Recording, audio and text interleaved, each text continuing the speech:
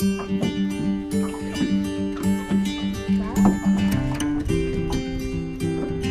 Oh, it's a barra. It's a good barra. It just shows hard work pays off. Yes! Woo! There's a legal barra! It's a barra. But we're going to get back in there. So the sun's come up. It's on our bank, so we're not going to have much more fish. So I'm going to quickly get into it. uh,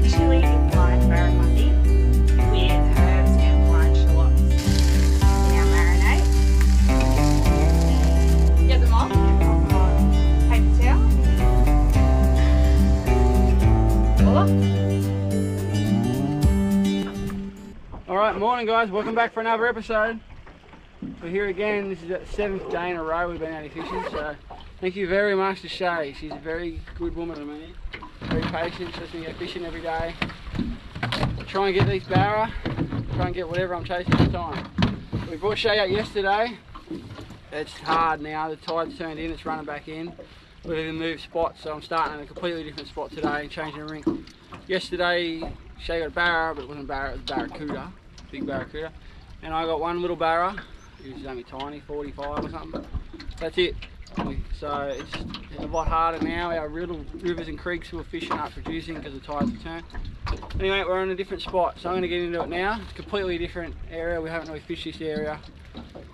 So we change it. It doesn't work, got to change. Can't stick to what you're doing if it doesn't work. All right, I'm going to get into it.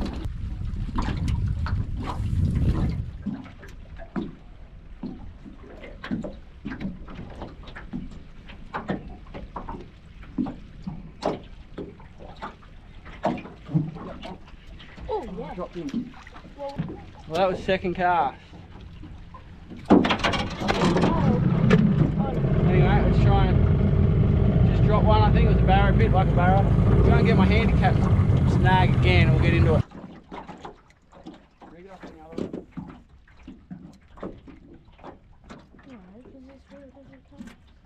What's the point of the two rods?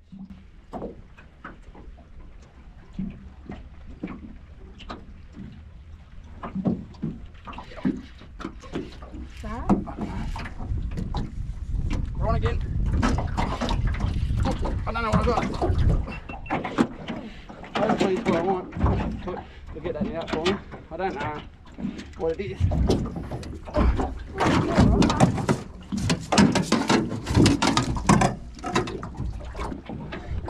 It's going good. With any luck, it's what we're after. Nah. Oh, it's a barra. Oh, it's a good barra. It's a good barra.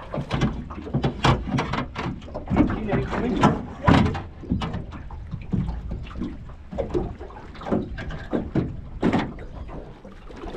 Real good barra.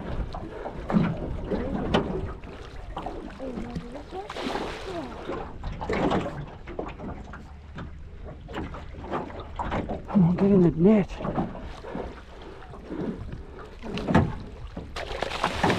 Yes! Yes! Ah, oh, I got can cry! Oh, Oh my god! I can cry! Ah. Oh, I've spent seven days out here chasing these. I've been up at four in the morning for seven days in a row. I've hooked two good ones, busted off, jumped one off. I could cry. I am so happy. You have no idea how happy I am. I put so much work and so much effort into this fish. It just shows hard work pays off. Yes! Woo! There's a legal barra! Ah! Have a go at him! Yes! Alright, that's about my fourth cast. Literally. I had two casts up there. What dropped one, it was a they're a bit the same. Two casts here after getting my handicap snag back, and bang. It just shows when you're fishing, do not stick to what you're doing. I've just changed everything we're doing. We moved spots, we never even fished here before. We're done. I looked back, I went back, I sat down, I looked at Ty, I looked at maps, I looked at ring. I said, Shay, what I'm doing is not working on the running. I've got to change, or I'm going to die trying. This is my last chance. I thought, that's it. I've spent six days doing what I'm doing. The tide's changed. It's dead. It's done. They're little. I'm changing. I'm getting in. I'm doing something different. At least if I don't get a barra, I can say I tried and I can go home going, I give it another go. And I tell you what, it's worth trying. So make sure you always change because the change I dropped one. That was another good one. And there is a good barra. Woohoo! That is a slab of a barra. What is he? He is 62. Oh, 62, so he's done Reese. He's done the handicap. Woohoo! All right, I'm going to get this guy nice. I'm going to put. I'm going to get into him more because they're bait fish everywhere. That's a barra, my friends. Yes! As you can tell, I'm excited. I said to Shay, if I catch one, I could cry. I'm so happy. I'm so happy. I'm so happy that paid off.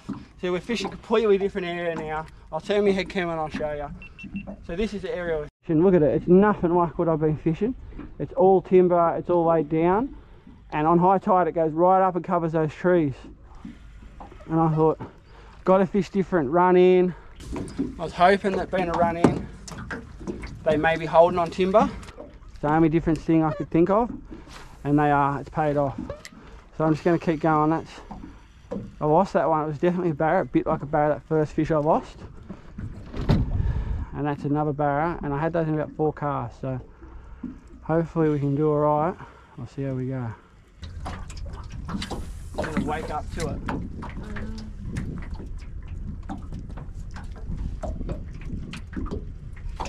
after catching so many rats and losing two horses, finally got one. Yep. Oh yeah. Oh! oh, that was huge. That was bigger huge. than that one. I just shot one that was even bigger than the one I had before. Absolutely enormous. He jumped and dislodged my hook. That was giant. Huge. That was the biggest bar I've ever seen in this river.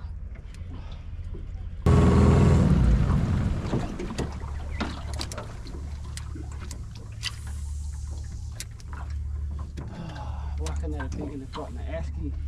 Huh? I said, why couldn't that big and have gotten the Esky? Mm.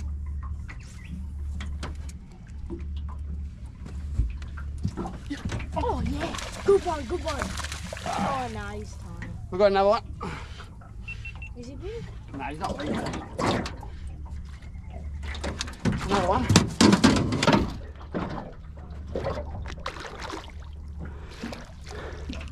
Nah, yeah.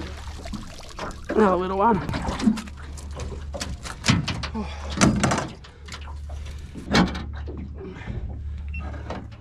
Jumped, jumped an absolute horse off. I don't know if you saw it on the camera, but he was well over 80, probably 85. Huge. Then dropped another one. Probably wasn't much bigger than this guy. Let's measure this guy for everyone. He is. He's 47. So he's like the guys we were getting before. Jumped a couple off. He's all right. It's a barra, but we're going to get back in there. So the sun's come up. It's on our bank, so we're not going to have much more to fish. So I'm going to quickly get into it. All right, that's it. We're out of here now. We're heading back. I'll also quickly show you the rod. This is 7.2 medium, 6 to 12 pound Iconelli. I don't think you can even get these in our country. I got it from America when I competed in America twice. Went to America, won tournaments here for bass fishing. Got flown to America, fished there. Absolutely loved it. I used to professionally fish with bass. I used to do pretty well on that. So I just thought I'd show you this. Premier, Abu Garcia Premier, 20, 15 pound braid. I got back to 50 pound leader because of that one that done me. I thought it's not worth risking it. So and it didn't matter to this morning. We changed our areas completely and it was uh, a bit dirtier, the water, and they hammered it. And a little bit green, a 3.8 jig head with the Berkley saltwater one. It's a bit thicker hook. And a little green with white belly power bait nemesis, I think it is. It's an older one. I only had about six of these already opened in my box. And that's my last one. And that's what I use. Pretty sure it's a little bit power bait nemesis. And yeah, that's it. And they were all over it all. Absolutely all over it. And that's the only one I could, I've got other colours in that. They would not touch it. They wanted that colour. That is my last plastic in that colour. That's it. I'm done. I lost them all on trees or busted off. That's good. This is an awesome outfit for anything. I use this for anything. I catch, go and catch um, cleanies, everything like. These rods are absolutely amazing. They've got so much grunt down low, but so soft up top. See, I don't think you can get them in Australia anyway, which is a shame, but they're a beautiful rod, beautiful reel. All right, hope you enjoyed that. I'm going to head back down. Me and Reese are on our way back. The bite stops the sun gets up. And we'll get back to the kitchen and see how Shay wants to cook this fish. I'm not sure. She'll have a beautiful recipe made up as always. It'll taste good.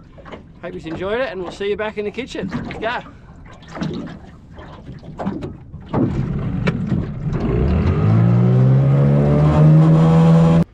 All right, we're back in the kitchen, guys. Welcome back to the kitchen. Here we are. The beautiful Shay has just finished getting all her recipe ready. Just been cutting it up. I had to help her cut up the onion. It was a wonderful job. Did I do good, Darren? Yeah, you done alright. I stuffed it. So a little bit of onion don't look perfect. That was me. all right, I'll put you over to Shay. So we're going to make uh, chili lime barramundi with herbs and fried shallots. So we're going to start off with 60 grams of brown sugar, 80 mils of lime juice, 60 mils of fish sauce. Just want to stir that so it's dissolved. Then we're going to add garlic.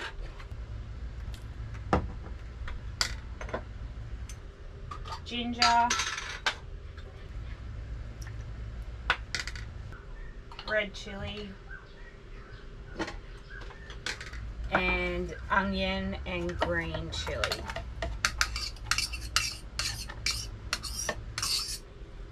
Just mix all that together. You can use um, all fresh ingredients, but we live in our caravan, so sometimes it's really hard to get fresh produce. So that's why we use a lot of minced stuff.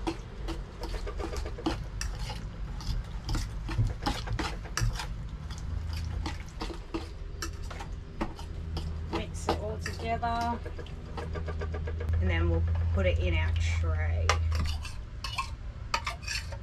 Once we cook our fish, we're going to pop it into this marinade so then it will soak in all those juices while it's resting.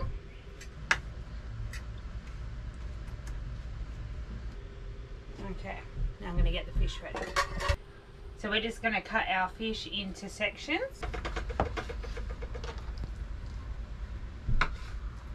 Want it this size. That size there. And then we just put two little slits in it so it doesn't curl when we're cooking it. I say the barra just switching on, like literally just switching on. That's why they want a three inch plastic.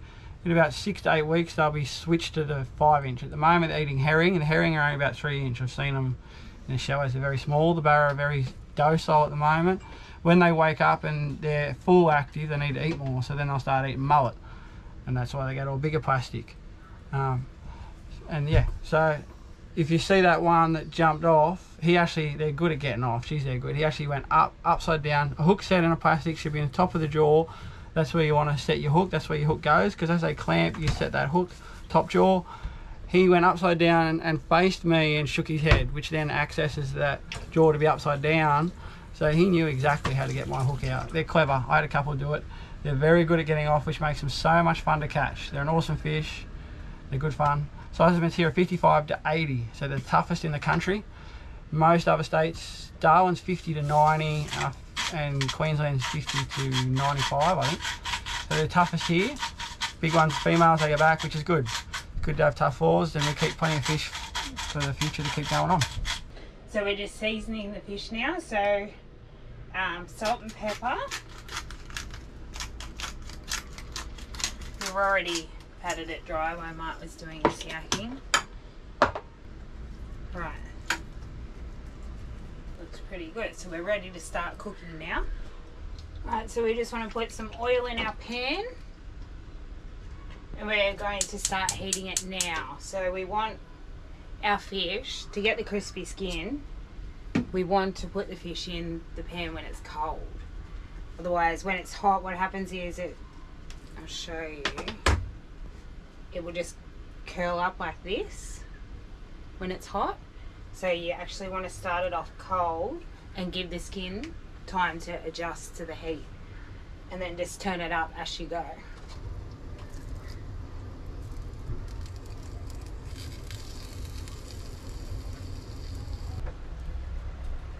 We'll just keep turning it up until um, we get to a high heat and then start cooking it. Right, so I can start turning up my pan now. Just show you. See how the skin has set in that position? Now we can turn up the heat and get it cooking. So we want to do about three to four minutes on this side. And then we want to flip it and it'll only take about two minutes on the other side. We'll mostly cook it through on the skin side. I'll come back to you. So it's halfway cooked now, a little bit over halfway. So we'll give it a turn. We'll check that skin out. Looks good. Just another couple of minutes cooking on the other side, and then we'll pop it into our marinade. So our first lot of fish is done. So we're going to rest it in our marinade. So the rule for cooking fish, if it takes 10 minutes to cook, it takes five minutes to rest before you can eat it. So we will put that there, let it rest, and I'm going to keep going with cooking the rest of the fish. And then we just have to fry our shallots, and then it's ready to eat. Okay, to fry our shallots, we just want some olive oil in the pan. Let it heat up for a minute. Our oil is nice and hot now, so what we do, grab them. Just cook the shallots in um, sections. Don't you don't want to cook too many at once. And I'll show you what they look like when they're done.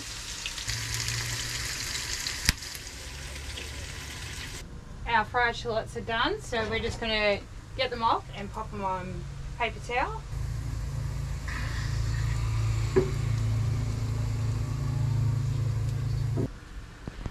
And then I'll show you how to serve it up. Okay, to serve it up, we get some of our marinade.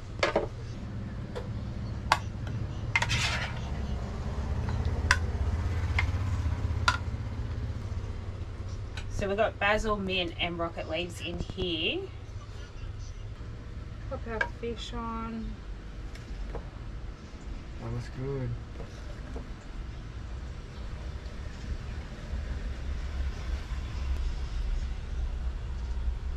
and our fried shallots. Voila! Good job, baby. Thank you. All right, we're back here. We've got all the kids back. We just wrangled them all back from their friends. They're relentless here. Have lunch. Come on, guys. Let's have lunch. So we'll see how Dad that gets first bite. That He looks- called it. Absolutely amazing.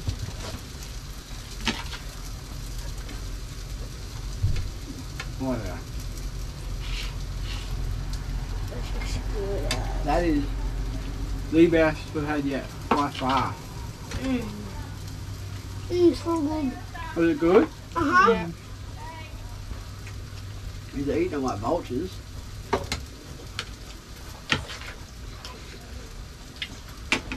Oh, look at it. There it is. All the little shallot things. Beautifully cooked.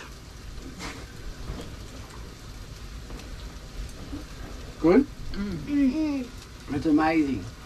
Absolutely beautiful. How do you like it, kids? Oh, so good. Yummy? Eating with your hands, good stuff. Yep. Alright, well, we're going to finish this. Hope you enjoyed that episode. Thanks heaps for watching. Um, that's it now, we're out of here. We're going to start, leave Broome in a few days and we're going to start heading our way to Exmouth, Port Hedland, heading our way all down the coast. So there'll be heaps more fishing coming down there. Don't know what we'll be catching, we'll find out as we go. Alright, well, I hope you enjoyed that episode and I'll see you to the next one. Cheers. I'm having seconds and thirds. this is beautiful. I'm going to sit here and devour all the rest of it. Kids gone again. They're in and out for two minutes and they're off to the park or the pool or something with their friends. Anyway, beautiful. Is it a bit chilly? Mmm. It's not too chilly, it's beautiful. You can taste the chili through it. It's got a kick. So we didn't put the marinade on the kids because they don't like chili, they had a big whinge about it. So they just got it with the shallots. You can definitely taste it in there, but I don't think it's too much. I, I love chili, but it's amazing. You can taste the shallots, you can taste everything. This is the best fish I've ever had. Shay just keeps outdoing herself. Oh yeah, she's got some hard work to keep doing, keep outdoing herself. Lucky she's a good cook. Keeps getting better every time.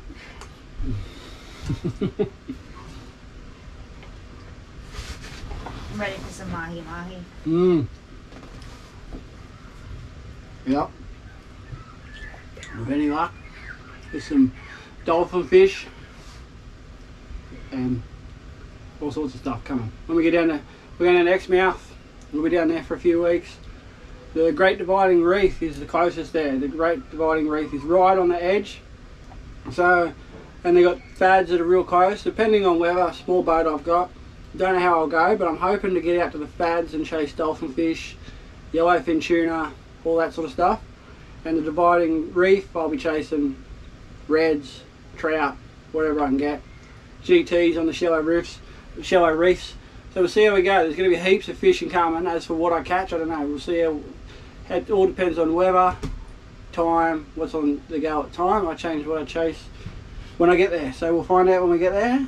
But we'll definitely have fish for Shay to cook.